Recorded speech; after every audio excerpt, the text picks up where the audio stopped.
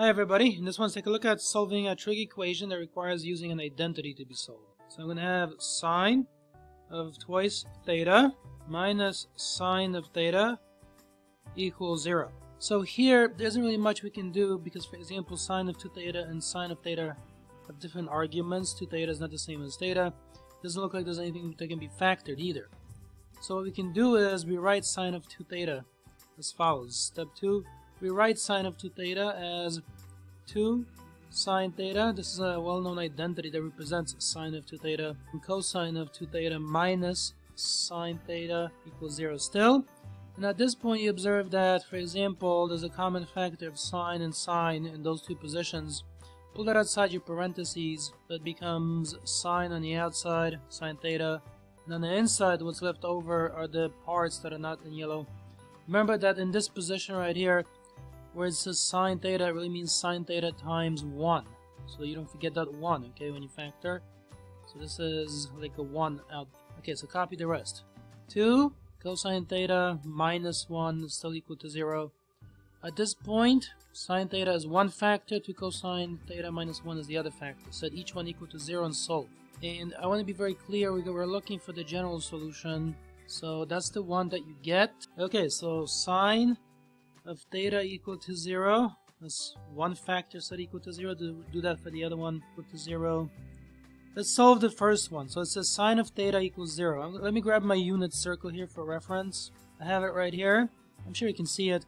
So sine of theta equals 0. When does that occur? For example, that occurs over here because you see that the sine of theta is this. It's the y-coordinate. That, that's one place that it occurs.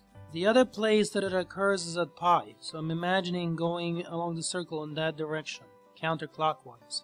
Sometimes this is described by saying CCW, counterclockwise. So I've got 0 and I've got pi, and this is in radian mode. But those are not the only solutions. Let's write those down for now though.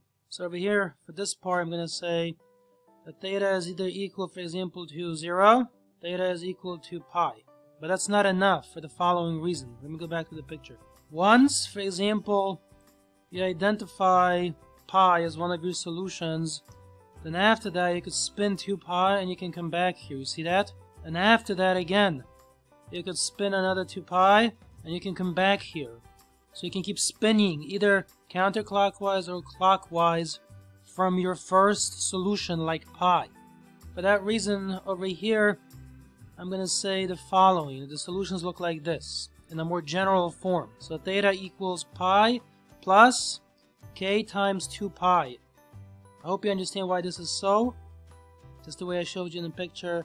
And the same thing with the other one. Theta is 0 plus k times 2 pi, which is just obviously times 2 pi. And the k is the number of turns that you take from the starting value. So this, these are two of the general solutions. This one, k2 pi, and pi plus k times 2 pi. For this one here, let me go back to the picture. k2 pi, just that one. So that looks like this identify 0 as your starting angle, and then after that you can just spin once around. That corresponds to setting k equal to 1. And then after that, again, you can spin again and come back to there. You see that? That corresponds to k equals 2. That's why I need those extra k times 2 pi pieces. Okay, so that takes care of sine of theta equals 0. We now have to repeat this for 2 cosine theta minus 1 equals 0. So we do that by solving for cosine theta. So you just add 1, then you divide by 2, so cosine theta equals 1 half. And what this says in English is get the angles where the value of the x-coordinate is equal to 1 half. Remember, this is just fancy for the x-coordinate on the unit circle. That's all it is. So where the x-coordinate equals 1 half, get those angles. Take a look at the unit circle here. So, I gotta look through my points, and when I look through them, let's see here the following. So, over here, at pi over 3, that's one of them, because this right here, this is your x-coordinates equal to 1 half, so that's at pi over 3, like that. And then the other one, well, where would that be? A spin all the way to over here, which is 5 pi over 3, and you see that the value of the x-coordinate is 1 half over there too. So that's the x-coordinate right here, the 1 half in that position. So these are our two starting angles. The pi over 3 and then 5 pi over 3. So over here, I'm going to put the following down. That theta is equal to pi over 3, theta is equal to 5 pi over 3. But again, that's not enough. The reason is that from each of these you can now start spinning. So what I mean is this, take a look. For example, let's take pi over 3 as a place to begin. Okay, so let me go back over here. I'm taking pi over 3 as my starting angle, which is this angle here. Okay, pi over 3, x equals 1 half. What I can do from here now is simply spin once around. You see that? And I come back over here. And again, x equals 1 half. And then after that, I can again spin another circle, another 2 pi, and come back to that same location where x again equals 1 half.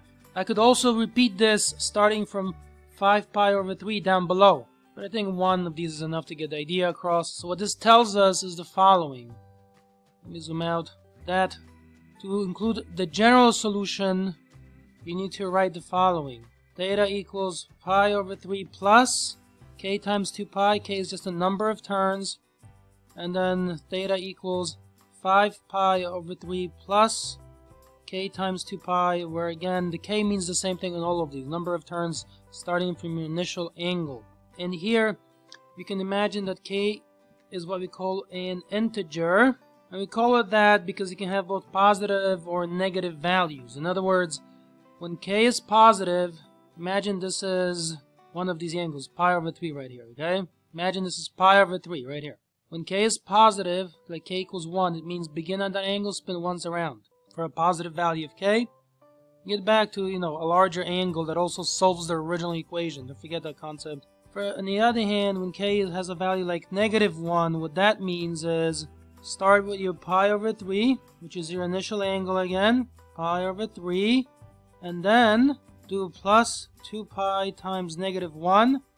That basically amounts to just spinning in the opposite direction one time that way.